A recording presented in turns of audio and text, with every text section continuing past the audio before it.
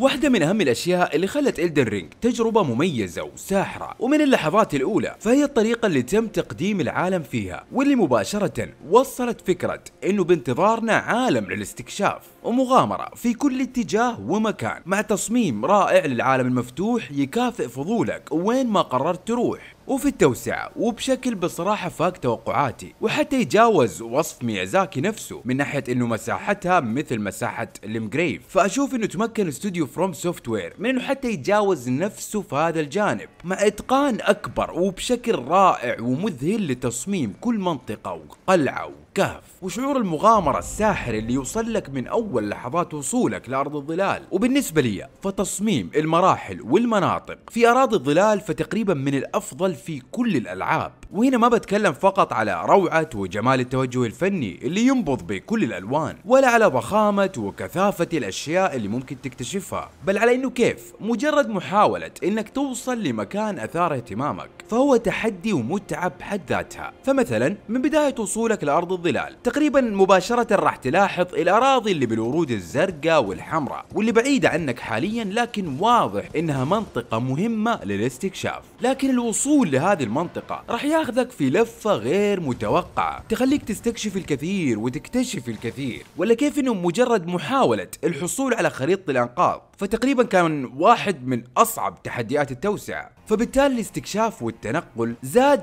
في كونه عنصر أساسي في اللعب وشيء لازم تكون فعال فيه ومو مجرد انتقال بين علامات الخريطة بشكل مباشر. وهذا الإتقان في تصميم وربط مناطق العالم المفتوح. فايضا ممتد في تصميم الخنادق الرئيسية ومجرد استكشاف الحصن الأسود يثبت هذا الكلام. مع منطقة جدا رائعة في التصميم كلها أسرار بأدوار متعددة ومداخل ومخارج مختلفة وزعماء متنوعين ومهمين. يعني من وجهة نظري إنه FromSoftware اتقنوا وصفتهم السرية الإبداعية في تصميم المراحل أكثر من اللعبة الأصلية وحتى أكثر من ألعابهم السابقة. بالتالي زادت المتعة في اللعب والاستكشاف والتنقل. وطبعا مثل ما ذكرت فحتى جمال التوجه الفني والتنوع الكبير في البيئات والألوان كان شيء صراحة أسطوري. من غابات ملونة وجميلة لغابات ملعونة وخطيرة وساحات مفتوحة بورود وألوان. لقلاع وحصون وقصور وممرات سرية وكهوف وسجون تحت الأرض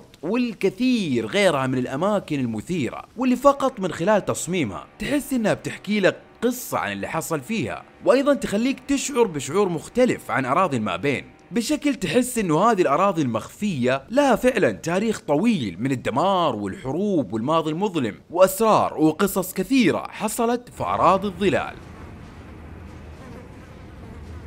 القصص اللي جاوبت على بعض الأسئلة عن تاريخ أراضي المابين وأراضي الظلال مع تقديمهم لشخصيات جانبية جديدة ومثيرة لكن كعادة ألعاب FromSoftware فالأجوبة والحوارات عموما فتكون بشكل غير مباشر ومبهم لحد ما والصورة الكاملة متروكة لخيال اللاعب. الشيء اللي شخصيا أستمتع فيه جدا ولهذا السبب أركز على قراءة الوصف لكل العناصر واللي من الجميل والرائع إنها صارت مترجمة للعربية. وإن كان صحيح الترجمة ما هي مثالية لكن المهم إنها موجودة ونتمنى إنها تستمر في ألعاب الأستوديو. مع العلم إنه ترى حتى الترجمة الإنجليزية من اليابانية فأحيانا ما تكون مثالية وصحيحة بشكل كامل في اللعبة والسبب إنه الوصف عادة بالقصد يكون غير واضح هذا غير إنه خصوصا بيتم استخدام مصطلحات قديمة لغويا في الوصف والحوارات Pure and radiant, he wields love to shrive clean the hearts of men. There is nothing more terrifying.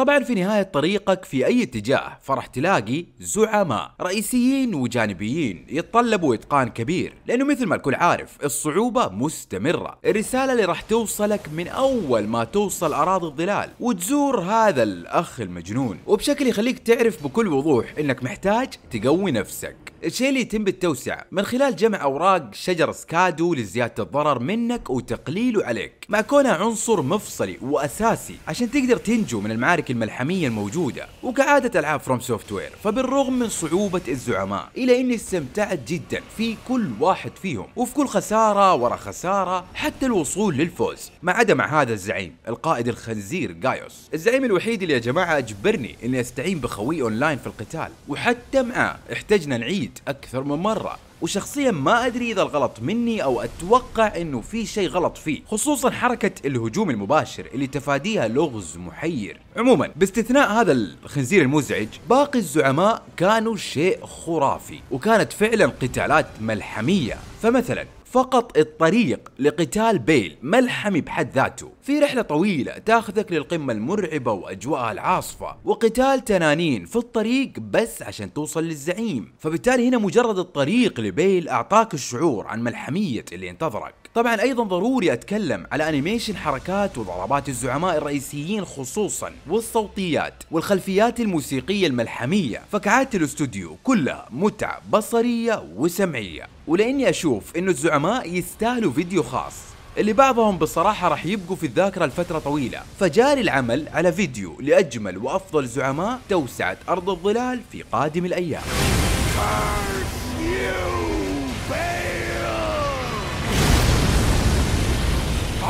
Hereby vow you will rue this day.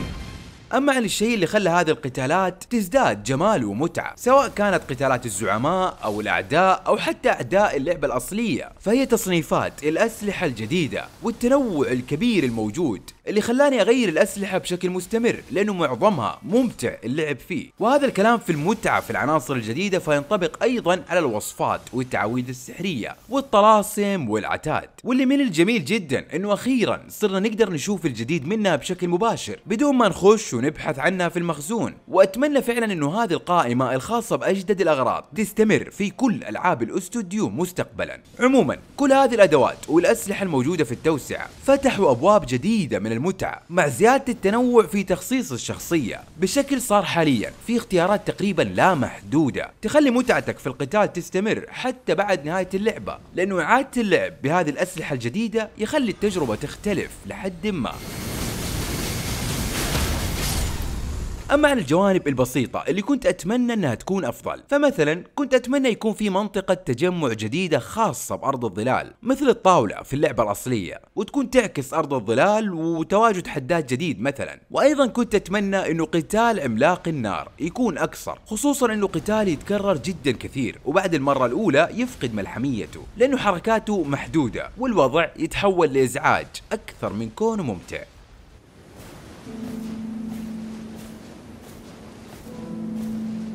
من الآخر توسعة أرض الظلال. بصراحة أقرب للعبة كاملة. ومن خلالها قدر استوديو FromSoftware إنه يتقن وصفة العالم المفتوح أكثر وأكثر. مع تصميم للمناطق والمراحل بكل صراحة يدرس في إبداع في كل الجوانب في اللعب والاستكشاف في التوجه الفني وجمال المناظر وفي سرد تاريخ وقصص. ومع إضافة الأسلحة الجديدة والعتاد والأدوات والوصفات السحرية زاد العمق وزاد التنوع وبالتالي زادت المتعة في كل القتالات والهزائم والانتصارات. خصوصا قتالات الزعماء الملحمية اللي بعضها راح يبقى في الذاكرة لفترة طويلة واللي الصعوبة فيها طبعا ومن حسن الحظ مستمرة. لأنه فيها وفي التحدي في فهم الزعماء واستخدام مختلف الأدوات المتاحة للفوز فهنا كل المتعة. وشخصيا سعيد جدا بتواجد استوديو FromSoftware وبكل النجاحات اللي بيحققها. وكل أمل إنهم يستمروا في تقديم وصفتهم الخاصة بكل ثقة وجرأة في المستقبل.